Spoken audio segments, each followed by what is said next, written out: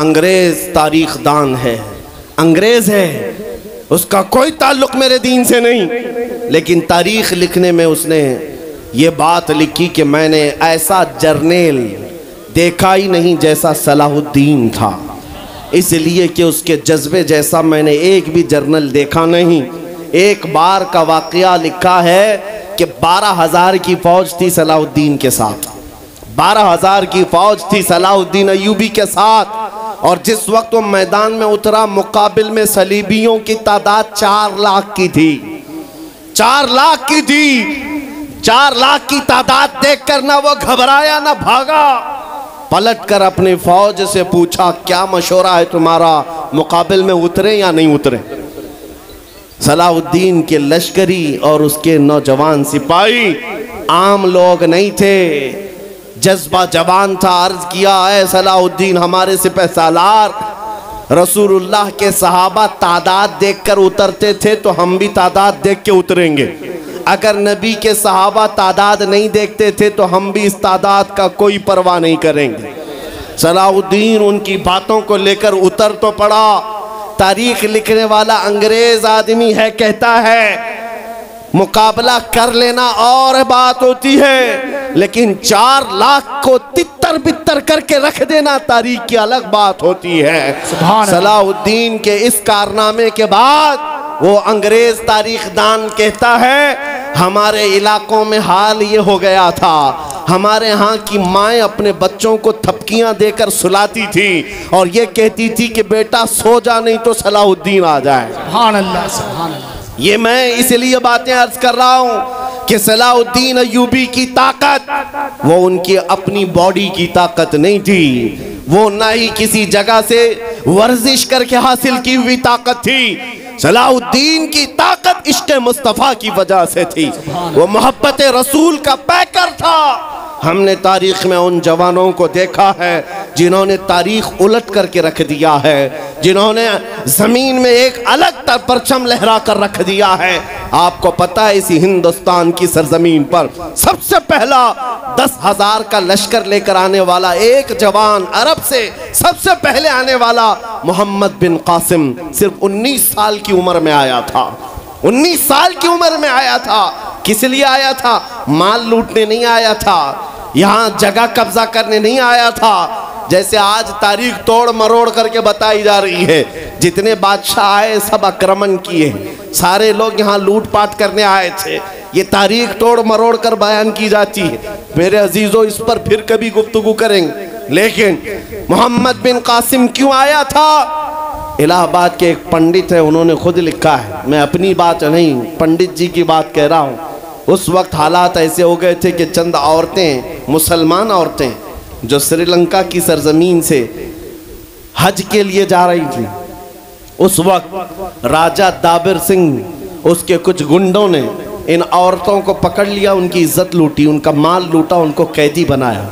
उन औरतों ने उस वक्त पुकार कर कहा था कि कोई है जो हमारी इज़्ज़त बचाएगा? कोई तिजारत करने वाला बाहर से आया हुआ ताजिर बात सुन करके अरब गया। अरब में जाकर गवर्नर जो था, उसके सामने वाक़ बयान कर रहा था। 19 साल का जवान मोहम्मद बिन कासिम वहाँ से गुजर रहा था। उसने इतना वाक़ सुना कि हिंद की सरजमीन पर कुछ हमारी बहनों की इज़्ज़त लूटी जा रही है। वहीं खड़े होकर उसने कहा लब्बई क्या उख्ती, ऐ मेरी बहन, मैं तेरी इज़्ज़त की हिफाजत के लिए आ रहा हूँ। वहाँ से पुकारा, अपने चचा, जो गवर्नर था उस वक्त, उससे दस हज़ार का लश्कर लेकर के सबसे पहले यहाँ आने वाला मोहम्मद बिन कासिम किस लिए आया था? माल लूटने के लिए नहीं, औरतों की इज़्ज़त बचाने के लिए आया था। हिंदुस्तान की सरजमीन पर कदम रखा और उसके बाद सामने मुकाबिल में फ़ौरन जंग के लिए नहीं आया। कहा कि जिन औरतों को कैदी बनाया, वो छोड़ दो। जो हज के लिए जा रही थी, उन्हें आज़ाद कर दो। और दूसरी बात, जिन्होंने गुंडागर्दी की है, उन्हें पकड़ो और जेल में डालो। राजा को घमंड था उसने इनकार किया। तो मोहम्मद बिन कासिम ने कहा, चलो आओ, मोहम्मद अरबी के शेरों से मुकाबला हो जाए। तीन दिन का मुकाबला हुआ था, न राजा बचा, न बाजा बचा। सारे हजारे इधर से उधर हो गए और मोहम्मद बिन कासिम का परचम लहराया। मेरे अजीजों, औरतों की इज़्ज़त का मुहाफिज 19 साल का जवान था। जिसने आते ही औरतों की इज़्ज़त भी बचाई और मेरे दीन का परचम भी लहराया। मैं आज पूछता हूँ, हमारी उम्रें कितनी हो गई? कई जवान 25 साल 30 साल क्रॉस कर चुके। आज बहुत सारी औरतों की इज्जतें जब लूटी जाती हैं, तुम तो मोबाइल में देख देख करके शेयर कर देते हो, वीडियो इधर से उधर फैला देते हो और उसके बाद समझते हो हम बहुत बड़ा काम कर रहे हैं। हर कोई यही कहता है, सबको शेयर करो, सबको शेयर करो, काय के लिए शेयर करो। मेरे अजीजों, ये कौन सी जंग लड़ रहे हो? व्हाट्सअप मोबाइल की जंग लड़ रहे हो? तुम्हारे अंदर अगर गैरत बाकी है तो मेरे अजीजों, किसी की इज़्ज़त लुटते हुए देखकर तुम तमाशा नहीं कर सकते। ईमान बेदार करो। ईमान बेदार करो।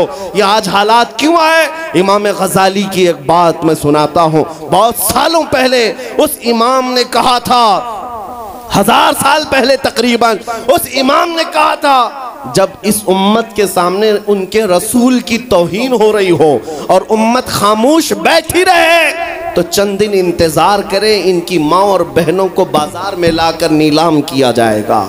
इनकी माँ और बहनों की इज़्ज़त लूटी जाएगी और ये कुछ ना कर सकेंगे। इनके बच्चों को मारा जाएगा और ये कुछ ना कर सकेंगे। मैं आज महसूस कर रहा हूँ, हुजूर की गुस्ताखी पर और तोहीन पर खामोश रहने का नतीजा ये है कि अब हमारे घर भी सलामत नहीं रहेंगे। लोग आज चीख रहे हैं, मस्जिदें वीरान हो गई, मस्जिदें टूट रही हैं, खानकाहें टूट रही हैं, न जाने कितने मज़ारात बिल्डोज़र से ख़त्म किए जा रहे हैं। ये तमाम बातें अपनी जगह पर। मैं आपसे पूछता हूँ, जाने ईमान, रसूलुल्लाह तरह चल तो नहीं सका, लेकिन खुद कैसे चलता था ये भी भूल गया। और मैं उसको थोड़ा बदल करके अपनी कौम के लिए कहता हूँ, शेर चला कुत्ते की चाल और अपनी चाल भूल गया।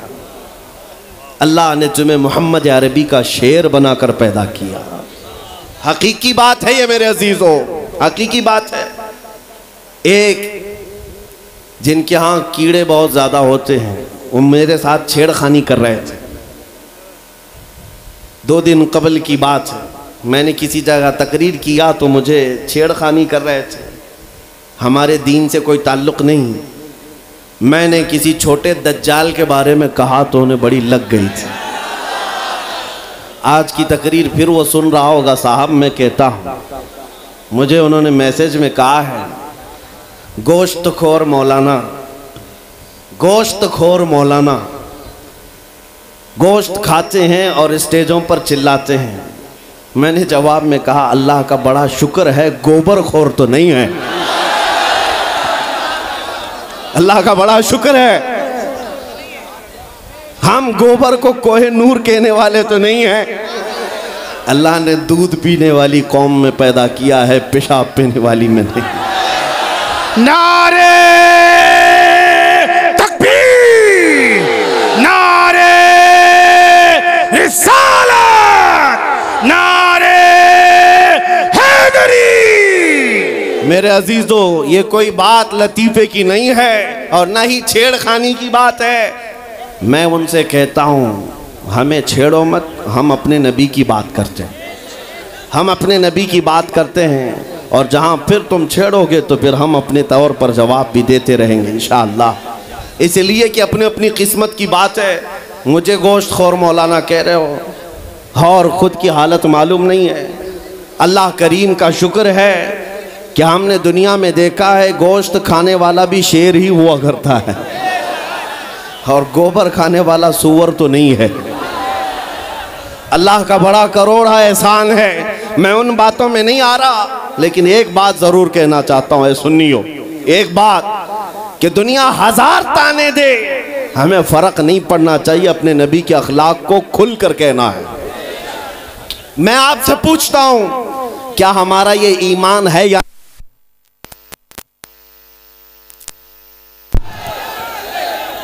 हेलो हेलो हमारा ये ईमान है या नहीं कि मेरा खुदा सच्चा है? हमारा नबी सच्चा है? हमारा दीन सच्चा है?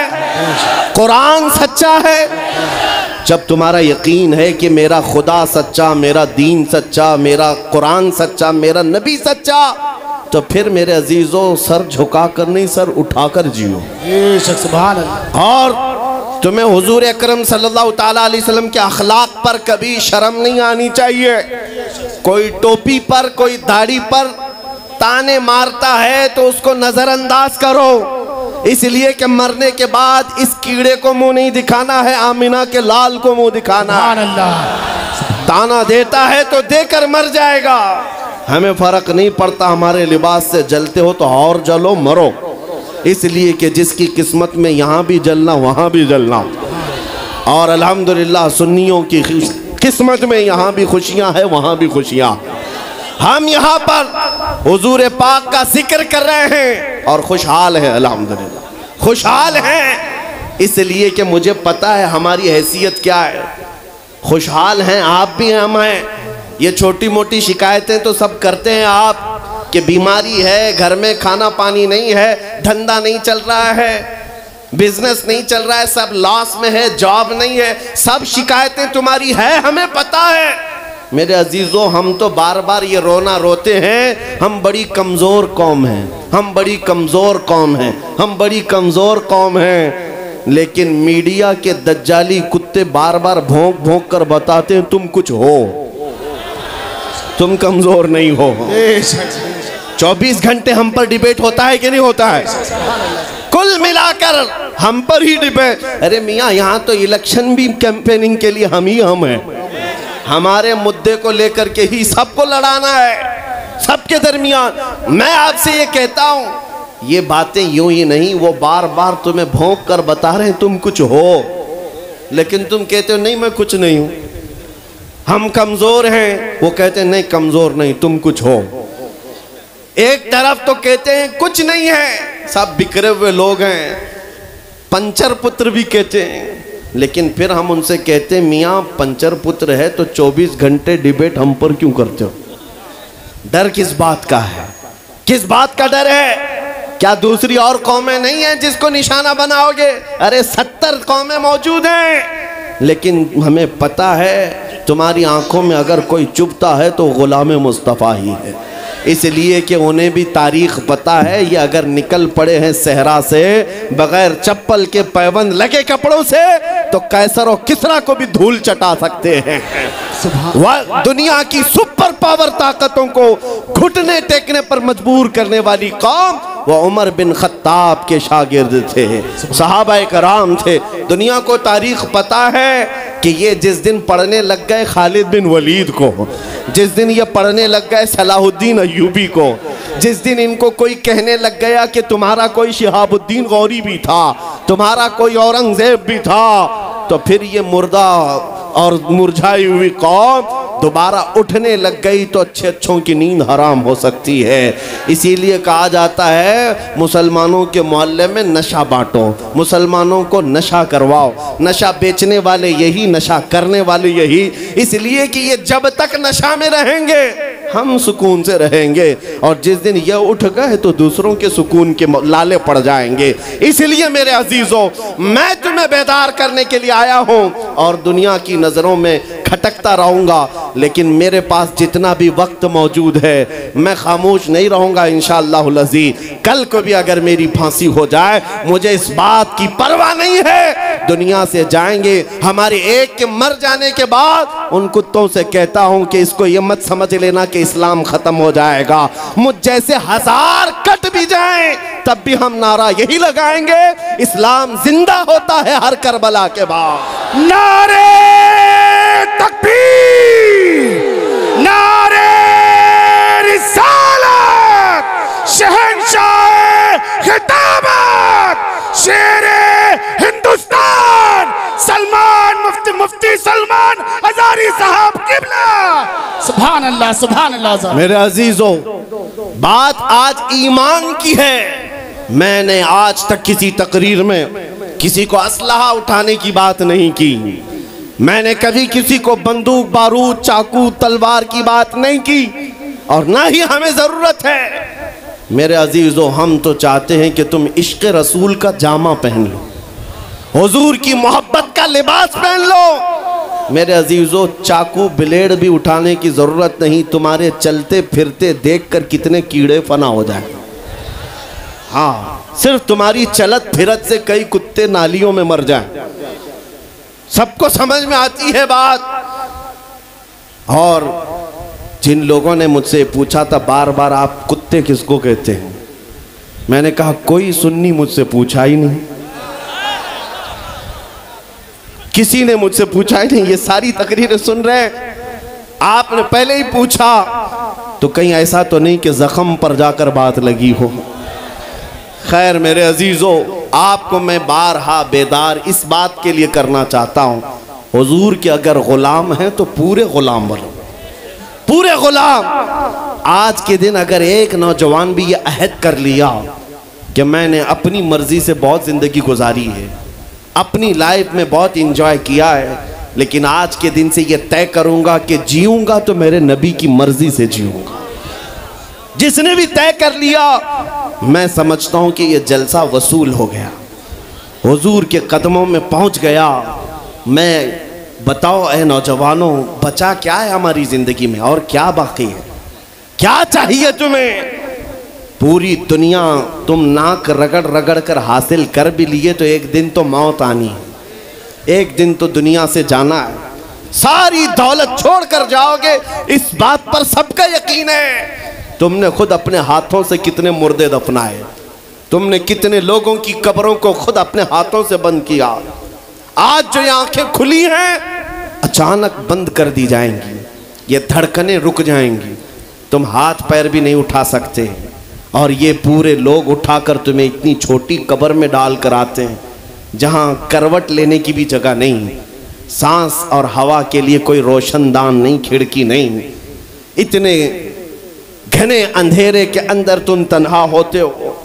उस कब्र के मुतालिक सोचो वहाँ मुनकर नकीर जिसके बारे में पूछ रहे होंगे वो ताजदार मदीना की जात होगी। हुजूर के बारे में तुमसे पूछा जा रहा है कि तुम उनके बारे में क्या कहते थे? इसलिए सुन्नियों आज ही हम तैयारी क्यों ना कर लें कि कल को कबर में हमसे फरिश्ते पूछें इनके बारे में क्या कहते थे? तो वहाँ पुकार कर नकीरें इनसे कहना तुम पूछ रहे हो इनके बारे में क्या कहते थे? अरे मर के पहुँचा हूँ यहाँ इस दिल रुबा के वास्ते। सुभान अल्लाह सुभान अल्लाह मर के पहुँचा हूँ यहाँ इस दिल रुबा के वास्ते। है शबे गौर भी उसी गुल से मुलाकात की रात। अजीजा नगरा में वकार आज ले उनकी पनाह आज मदद मांग उनसे। कल न मानेंगे कयामत में अगर मान गया सिर्फ़ मैं तुम्हारे उन अखलाक की बात कर रहा हूँ, बड़े दर्द दिल से कह रहा हूँ। आ जाओ वापस उस नुक्ते पर जहाँ मेरे नबी ने हमें छोड़ा था। आ जाओ उस रास्ते पर जिस पर चलने वालों पर अल्लाह ने इनाम नाजिल किया है। आपको पता है, वो सहाबा कराम ताबईन और अलिया कामिलीन का रास्ता था कि जिनके बारे में इकबाल ने कहा दी अजाने कभी यूरोप के कलीसाओं में तो कभी अफ्रीका के तपते हुए सहराओं में। दश्त तो दश्त है, दरिया भी न छोड़े हमने। बहरे जुल्मात में दौड़ा दिए घोड़े हमने। आ गया ऐन लड़ाई में गर वक्त नमाज़। किबला रूहों के जमी बोस हुई कौम हिजाज। एक ही सब में खड़े हो गए महमूद आयाज। न कोई बंदा रहा, न कोई बंदा नवाज़। यह हमारी तारीख थी, यह हमारी तारीख थी। मोहम्मद अरबी सल्लल्लाहु अलैहि वसल्लम के ग़ुलामों की तारीख थी। वो जिस जगह जाते थे, परचम इस्लाम लहराते थे। जहाँ चल पड़े, हवाओं का रुख मोड़ दिया, आंधियों को तोड़ दिया, समंदरों में रास्ता बना लिया। अरे दरिया दजला में घोड़े दौड़ा दिए। ये नबी पाक के गुलाम थे। दुनिया उनसे खौफजदा थी। क्या था उनका नारा? उनका नारा ये था, टल न सकते थे जंग में अगर अड़ जाते थे, पाँव शेरों के मैदान से उखड़ जाते थे। अरे, हक से सरकश हुआ कोई तो बिगड़ जाते थे। तेग क्या चीज़ है, हम तोप से भी लड़ जाते थे। नारे तकबीर, नारे रिसालत। देखो देखो, कौन आया? देखो देखो, कौन आया? तवज्जो की बात है, हम उस कौम के वारिसीन में से हैं। दुनिया जिनकी तारीख जानती है, आपको पता है, अंग्रेज़ तारीख दान है। अंग्रेज़ है, उसका कोई ताल्लुक मेरे दीन से नहीं। लेकिन तारीख लिखने में उसने ये बात लिखी कि मैंने ऐसा जर्नेल देखा ही नहीं जैसा सलाहुद्दीन था। इसलिए कि उसके जज्बे जैसा मैंने एक भी जर्नल देखा नहीं। एक बार का वाकया लिखा है कि बारह हज़ार की फौज थी सलाउद्दीन के साथ। बारह हज़ार की फौज थी सलाउद्दीन अयूबी के साथ। और जिस वक्त वो मैदान में उतरा, मुकाबिल में सलीबियों की तादाद चार लाख की थी। चार लाख की थी। चार लाख की तादाद देखकर ना वो घबराया, ना भागा। पलट कर अपनी फौज से पूछा, क्या मशोरा है तुम्हारा? मुकाबिल में उतरे या नहीं उतरे? सलाउद्दीन के लश्करी और उसके नौजवान सिपाही आम लोग नहीं थे। जज्बा जवान था, अर्ज़ किया है सलाउद्दीन हमारे सिपह सालार, रसूलुल्लाह के सहाबा तादाद देखकर उतरते थे तो हम भी तादाद देख के उतरेंगे। अगर नबी के सहाबा तादाद नहीं देखते थे तो हम भी इस तादाद का कोई परवाह नहीं करेंगे। सलाउद्दीन उनकी बातों को लेकर उतर तो पड़ा। तारीख लिखने वाला अंग्रेज़ आदमी है कहता है मुकाबला कर लेना और बात होती है लेकिन चार लाख को तितर बितर करके रख देना तारीख की अलग बात होती है। सलाउद्दीन के इस कारनामे के बाद वो अंग्रेज़ तारीख दान कहता है हमारे इलाकों में हाल ये हो गया था। हमारे यहाँ की माएँ अपने बच्चों को थपकियाँ देकर सुलाती थी और ये कहती थी कि बेटा सो जा नहीं तो सलाहुद्दीन आ जाए। ये मैं इसलिए बातें अर्ज़ कर रहा हूँ कि सलाहुद्दीन अयूबी की ताकत वो उनकी अपनी बॉडी की ताकत नहीं थी। वो ना ही किसी जगह से वर्जिश करके हासिल की हुई ताकत थी सलाउद्दीन की ताकत इश्क मुस्तफ़ा की वजह से थी। वो मोहब्बत रसूल का पैकर था। हमने तारीख में उन जवानों को देखा है, जिन्होंने तारीख उलट करके रख दिया है, जिन्होंने ज़मीन में एक अलग परचम लहरा कर रख दिया है। आपको पता है, इसी हिंदुस्तान की सरजमीन पर सबसे पहला दस हज़ार का लश्कर लेकर आने वाला एक जवान अरब से सबसे पहले आने वाला मोहम्मद बिन कासिम सिर्फ़ 19 साल की उम्र में आया था। 19 साल की उम्र में आया था। किस लिए आया था? माल लूटने नहीं आया था।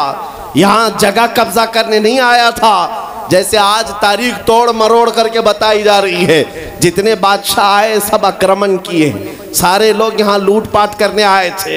ये तारीख तोड़ मरोड़ कर बयान की जाती है। मेरे अजीजों, इस पर फिर कभी गुफ्तगु करेंगे। लेकिन मोहम्मद बिन कासिम क्यों आया था? इलाहाबाद के एक पंडित है, उन्होंने खुद लिखा है। मैं अपनी बात नहीं, पंडित जी की बात कह रहा हूँ।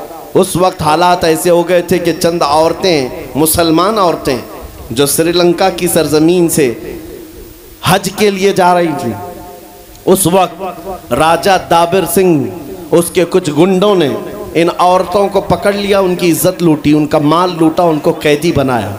उन औरतों ने उस वक्त पुकार कर कहा था कि कोई है जो हमारी इज़्ज़त बचाएगा? कोई तिजारत करने वाला बाहर से आया हुआ ताजिर बात सुन करके अरब गया।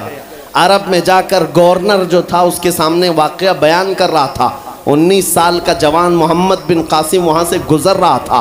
उसने इतना वाक़ सुना कि हिंद की सरजमीन पर कुछ हमारी बहनों की इज़्ज़त लूटी जा रही है। वहीं खड़े होकर उसने कहा लब्बई क्या उख्ती मेरी बहन, मैं तेरी इज़्ज़त की हिफाजत के लिए आ रहा हूँ।